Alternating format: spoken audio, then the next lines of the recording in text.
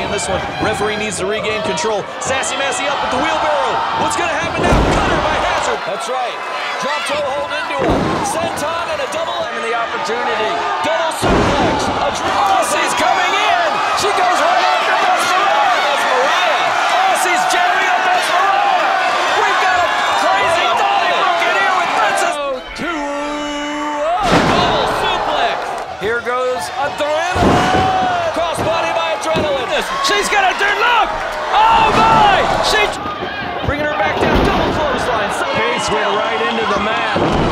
Oh, double elbow quickly got on top of Rena Reyes. Now the head into the mat. Aussie still in the ring. Potential clothesline. No. Neckbreaker. Neckbreaker by Princess Aussie. Did you see Razor's eyes go in the back of her head? German suplex. Aussie's on the